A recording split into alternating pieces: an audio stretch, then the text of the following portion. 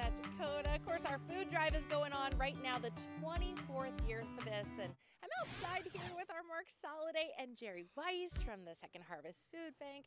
And Jerry, this has been such an effort preparing for this. What's it feel like to be part of the big day? It's fantastic. The effort is so worth it. And you look at just look at all of our great volunteers that are out here so early for the great cause of helping our food insecure neighbors in need, especially around the holiday time. When it's tougher for them, we get tougher for them too. Absolutely. And everybody pitches in. Mark, you've been doing this for so long. Yeah, so I'm interested, Jerry. Over the pandemic, obviously, we saw lots of uh, you know demand for food bank services going up, and now you know we're coming off a couple of years of uh, folks you know talking about inflation and how those grocery store bills are going up. So, what's the need uh, been like at Second Harvest Food Bank over the past couple of years? Needs been up. You mentioned the pandemic. We saw increase during COVID. Inflation, we saw a higher increase than we did during the pandemic. I mean, w- uh, just people with means go into the grocery store and get sticker shock. So you can imagine your food insecure neighbors who are, you know, single parents struggling with multiple jobs, kids trying to make it work. So it's food drives like this that help not just them regularly, but right now during the holidays where we want to make it extra special for them. I had the chance this week to be at the food bank and, of course, meet with some folks who receive that food.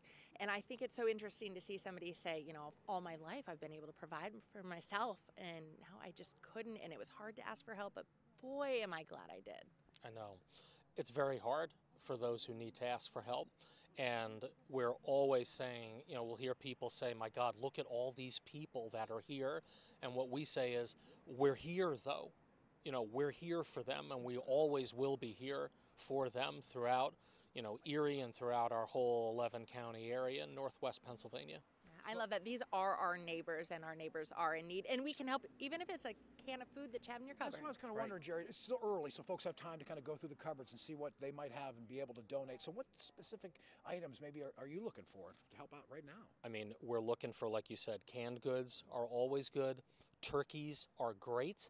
Um, anything anybody is willing to spare, if they want to donate um, money as well, that goes to a great cause for us. We're able to procure more goods, more foods for people who need it.